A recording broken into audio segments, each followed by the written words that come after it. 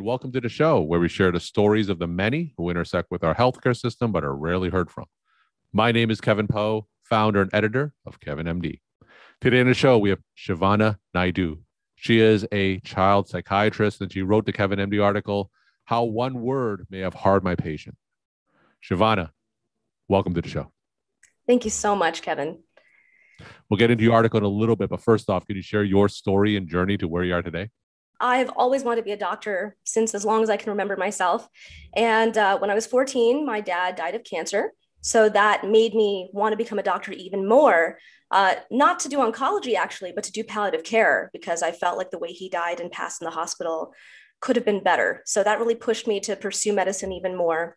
But third year, you explore everything, right? So I mm-hmm. explored mm-hmm. um, psychiatry as a third year medical student, and I was on call with a resident and there was this six year old child who had been really aggressive and she had been fighting, and we were called to do a consult on her.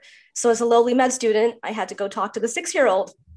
And, you know, I sat in the room with a six year old, and you could see in her eyes, it was just, she had just been through a life lifetime of trauma you know you could see that it was she was yellow and green and fiery and hurt and when i went into the room with her I didn't know what to say. I, I, didn't know how to talk to her. I didn't know how to engage her. So we just sat in silence and looked at each other. And what was interesting is that in that 10, 15 minutes, which felt like eternity, I could feel her anger. I could feel her pain. I could feel this defiance, this courage, and this audacity to just live. And, you know, I left the room feeling like a failure because I didn't do much but I also left with a conviction that this is what I needed to do. I needed to go into the field of medicine to reach these kids, to help these kids, to empower these kids, to give them a voice. So then I pursued child psychiatry. And I've been doing it for about the past five years, living the dream in mm-hmm. outpatient child and adult psychiatry. Now I work at an uh, exclusively outpatient child psychiatry um, nonprofit where I have tons of support. I have case management and therapists, and it's really a utopian place because I have everything at my fingertips to help kids. And yet I still feel really limited. And I feel like I have not been doing as much as I could do to really help kids. So that really has helped force me to expand myself even further. And I have become a life coach. I am signing up to do integrative psychiatry to further subspecialize. I wrote this article for Kevin MD. And I also started a podcast called Thinking It Through with Dr. Naidoo, child psychiatrist, which is really to provide education and information for parents and for young people going through their own mental health crises to really give them the tools to think through how to get their best mental health care. So that's where I'm at. So tell me uh, some of the typical cases that you see on on a daily basis without getting into too much detail. What what are some common scenarios that you find yourself in? Because I work uh, at a nonprofit, there's a certain type of patient that will come to me. They tend to have lots of socioeconomic challenges, uh, lots of ACEs, the adverse childhood experiences, uh, so lots of trauma, but also very typical ADHD, uh, concerns for bipolar, concerns for mood disorder, for oppositional defiant traits, um, but my sub my type of patient now because they've had so much trauma really is kind of delving through how physical trauma neglect sexual trauma may come out looking like adhd odd these labels mm-hmm. that we put on kids. But really the root is from some kind of trauma or neglect. Um, but i also get a fair share of um, you know bread and butter anxiety and depression as well and of course, uh, we're in the midst of another wave of the pandemic, right? So, can you comment on how the last couple years has affected some of the cases that you've seen? You know, so what's interesting is that I think the pandemic um, has really hit hard those of us who are performing at or above level, those of us who are used to performing well in how society typically functions. I think for my population of kids who have always been challenged, they actually have done kind of well with the pandemic. My hmm. OCD kids are confirmed that the world is scary. My anxious kids don't have to go outside and go to school. And um, the kids I've seen come in have been the more higher functioning kids, where taking away the social uh, mm-hmm. interaction has really reduced their coping strategies. But I think that the level of uncertainty that's come about now, the, the misinformation, the confusing information from the medical community, the media, has really provoked a lot of fear in a lot of people across the boards of what to know, what to expect, and who to trust. And I think that that, um, that shakes the grounding and foundation of security that a lot of kids have. I think there's been a lot of economic instability in parents. There's been a lot of changes in routine, which for kids with spectrum has been really challenging. Um, so it's it's strained us all, I think, in and outside of the mental health care system. We're still still going through it. There will be PCSD, post post COVID stress mm-hmm. disorder, I think. All right, let's transition into Kevin MD article and story that you shared. It's titled "How One Word May Have Harmed My Patient." Now, for those who didn't get a chance to read that article, can you just walk my audience through it and share the story of why you decided to write it? Sure. So, as an outpatient psychiatrist, you know, I see kids that come out of the inpatient medical hospital and inpatient mental health hospital and ERs. So, I had a patient, you know, throughout my career, I've seen kids this way. And throughout my kids, you know, we intersect with kids who have been in the medical ER, receive some kind of treatment, and come back to outpatient care. And for this particular situation, I had a 14 year old that I worked very hard with who came out of inpatient psychiatry. She had made a suicide attempt. I tried to help her, build an alliance with her, refer her for therapy.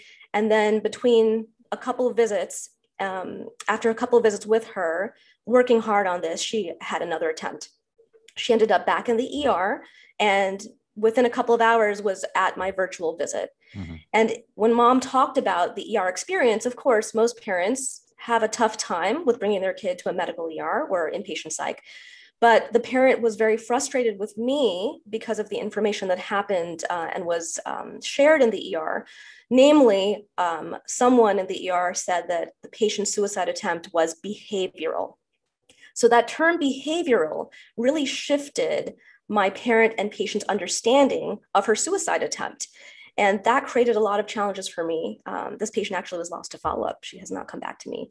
And I think that it just, um, you know, really crystallized how valuable words are how powerful we as, as medical professionals are in terms of the weight of our words and how it affects people. And I just really wanted to share uh, the story of how we need to be mindful of what that is. And, you know, I have so much respect for ER doctors and ER staff. They have worked so hard. It's been such a tough year and they get everything, you know. Mm-hmm. And I know from working as a consult psychiatrist, psych patients are not the favorite of the ER, right? We know that they're pretty difficult and challenging. And I know that sometimes when my patients walk in the door, there is some eye rolling, right? There's some frustration because they're going to be a challenge. Um, but I really wanted to express how I have that empathy for ER staff, but I think especially with suicide and knowing that there's been an increased rise of suicide attempts in young people it's the number two cause of, of death in ages 0 to 35 and we know that really the greatest predictor for completed suicide is a suicide attempt, whether that is, you know, downing a bottle of Tylenol or scratching yourself with a paperclip. You know, any of those attempts count as being a precursor for a completed suicide. So we have to take all of that seriously. And in the article, I said, you know, there used to be something called pseudo seizures where uh, young people would have a seizure like um, activity, and we'd find out it actually was linked to psychological underpinning versus having an epileptic uh, form. And we renamed that in the DSM functional neurological symptom disorder. And I think when we have um, people come in with suicide attempts that seem not as grave or serious, I think we've now started using the term behavioral in the same way, but it really is not. You know, I think that if we just call suicidal behavior suicidal behavior, whether or not it's severe, I think it really would uh, be much more powerful for that young person and the parent and the family to underscore the significance of this attempt and continue to take it seriously and work with outpatient mental health care. So that was basically the impetus for the article. So, if this scenario were to replay itself again, what should the the, uh, the emergency room staff do? What what would have been an ideal way to handle that situation? There are so many people working in the ER, right? There's so many levels of education and training, and it of course depends on what time of your shift it is, right? If you start your shift versus end your shift with a patient like this. But I think just being consistent in calling suicidal behavior suicidal behavior. I think that um, you know in the article I also touch upon someone had told the, the parent that a medication I prescribed could have provoked suicidal thoughts, which is which is possible. Um, but I think raising it as a, a, a question um, versus this is what I think is going on because you don't really know what's going on, mm-hmm. right? You see a snippet of what's happening in the story of this person's life. We can't uh, really theorize what's happening throughout their whole life. So I think just being compassionate, underscoring the significance and importance of a suicide attempt as suicidal behavior, not behavioral, would have been helpful. And um, I think that just reaffirming to the mom and the patient how significant this is and to continue to get mental health care uh, would have been important. But you know what's challenging is that what we say may not mean what they hear. Mm-hmm. And it could have been that the doctors and staff there did all the things I'm saying, and the parents just latched onto that word behavioral, which is why I think we have to be mindful of the words we use because we don't know which one's going to catch their ear and they're going to latch onto and effectively change the behavior. So tell me in the immediate aftermath, um, what did you try to do after to to remedy the situation? Um, and did you have any follow up with the ER staff to further discuss this? Oh wow, you know it's so challenging the the collaboration between different organizations. I mean, when I get patients from inpatient psych, it's very hard to have a doc to doc, uh, and the same is true with ER because the shifts are constantly changing. So no, I did not have a discussion with the ER uh, docs, but maybe the Kevin MD article will reach some ER staff and inspire them to think about this. Um, but I did talk to the parent, of course, and the patient, and I had uh, two follow-up visits with them before they were lost to follow-up, where I tried to to problem solve. And and in the article, I say, I said everything we do is behavioral, but that means that everything we do has a reason, and everything we do has a purpose, and we want to make sure we understand what that purpose is and take it seriously. So, you know, our goal really is to effectively change her behavior and her choices and empower her to make better choices versus reach for the Tylenol bottle. But that takes time and that takes work and trust and an ongoing relationship. And you know, I'm here for you if you need me. And I'm I, and I did also tell the parents they did the right thing to go to the ER. She made a suicide attempt. There are times to go to the ER. There are times not to go to the ER, especially for psych because our, our ERs are stressed and stretched as what they are. And not all psych needs to go there if you have established psychiatric care. So that's something I do address in my podcast called Connecting to Care in one of the episodes. So, um, you know, knowing when to utilize these resources. There is um, across the country, there are different uh, teams called mobile crisis teams. So instead of going to the ER, if you have a psychiatric crisis, you can look up online your mobile crisis team number for your county and call them, and they will send a team to your home to do an assessment to determine if you really need to go to the psych ER or not.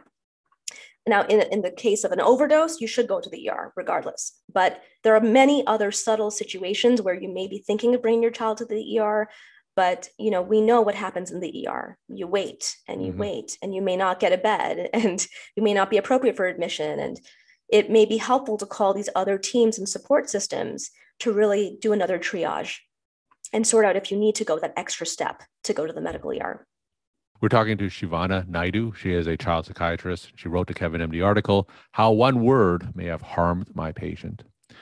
Shivana, so we have a lot of general, you know, pediatricians and primary care physicians who listen to this podcast. Now, from your perspective of, as a child and adult psychiatrist, any messages that you want to share with your primary care colleagues? Any tips and advice that that they could do better to treat some of the cases that you see in a primary care setting?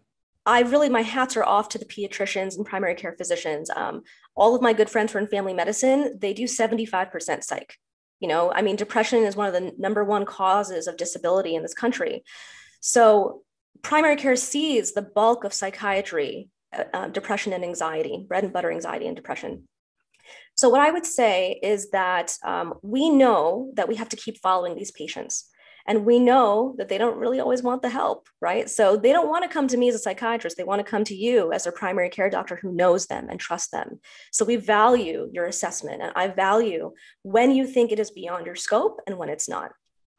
And I think for a lot of the pediatricians and primary care physicians, they're really doing their best and doing a stellar job with starting SSRIs, with referring for therapy.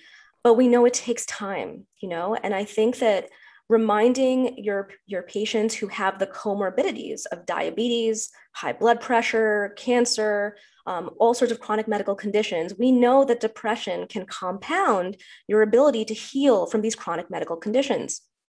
So, continuing to remind your patient to reach out to us for help would be uh, wonderful. I think uh, the other thing I would consider is that we know that every medication has side effects, and especially in young people under the age of 25, SSRIs have that black box warning, right? It can upregulate some suicidal thinking, not necessarily behavior and action, but thinking. So to ask those questions, to be on top of that. And if they are started on an SSRI and they have the symptom of irritability, anger in particular, that is really a red flag to get them to see a psychiatrist ASAP or reduce the medication and talk to a colleague who's a psychiatrist if you can't get them in. Because irritability can really be a big warning sign for action mm. of all sorts self harm, uh, aggression, and really can be an adverse reaction to SSRIs, what we call SSRI activation, or even an unmasking of bipolar. So, just the symptom of irritability to watch for, as well as suicidal thinking, ideation, intention, and plan.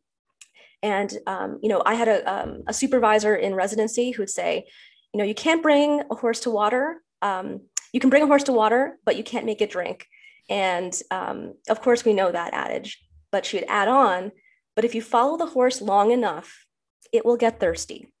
Mm-hmm. And I think that's our job in primary care. And I lump myself as a psychiatrist into primary care. We're supposed to follow that horse, no matter what their problem is. And if they have a mental health condition and they don't want to come to psychiatry, keep following them, keep reminding them that there are good psychiatrists here that want to help you and are ready for them when they're ready for us. And my final question What's your take home message that you want to leave with the Kevin MD audience? So my take home message would be that, you know, physicians, medical professionals, PCAs, and parents, all of us, our words carry weight. Our words carry worth. So think about these words when we talk to our patients and our families. And if a psych-ish feeling smelling patient comes your way, walks through your door, just remember if the idea of behavioral flashes through your mind, that word comes into your the background, take pause.